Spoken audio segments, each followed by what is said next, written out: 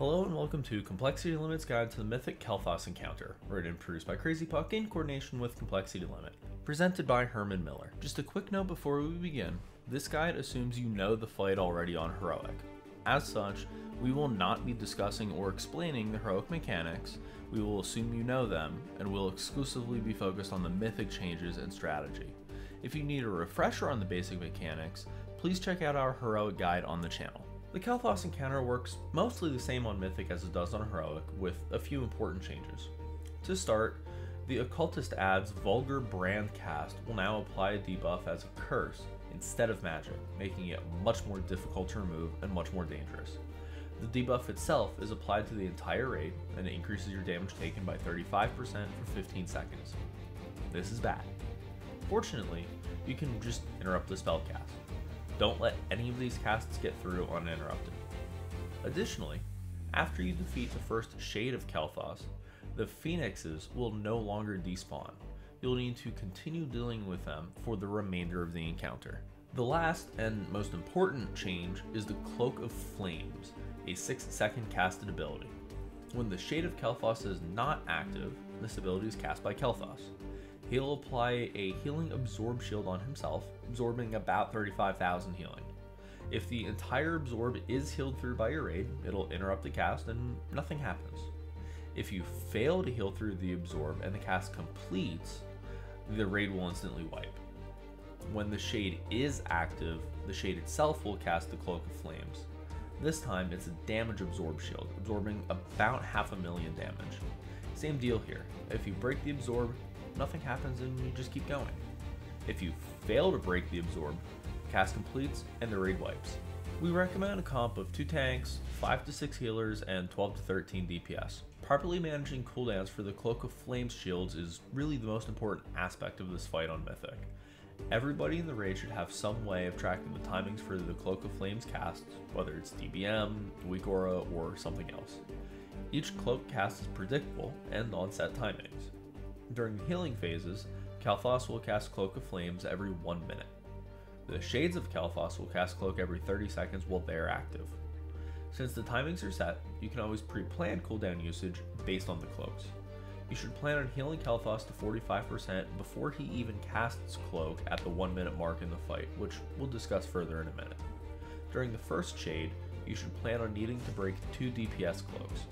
During the second healing phase, you can expect two Healing Absorb cloaks casts by Kael'thas, and lastly, you can expect one DPS cloak during the final burn of Final Shade.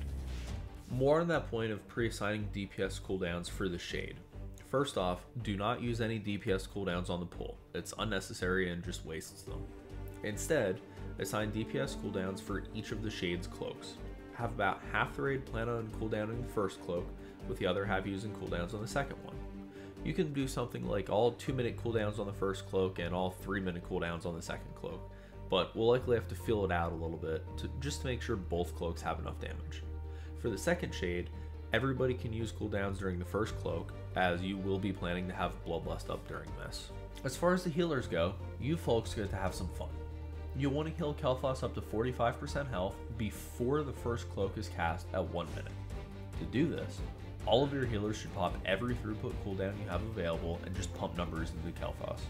Any priests in your raid go holy and pop Guardian Spirit on the boss. Make sure you have Lasting Spirit Conduit active. If you have multiple priests, chain your Guardian Spirits one after another. If you have any druids in the raid, have them toss Innervate on your best single target healer, which is likely a Resto Shaman if you have one. Any DPS players that can off heal should also help, especially during the Guardian Spirit. Use everything you can as a raid to heal Kael'thas as quickly as you possibly can. While this is happening, your tanks and DPS will obviously have Darithos and the rest of the initial ads to deal with. Kill all of the ads except for Darithos.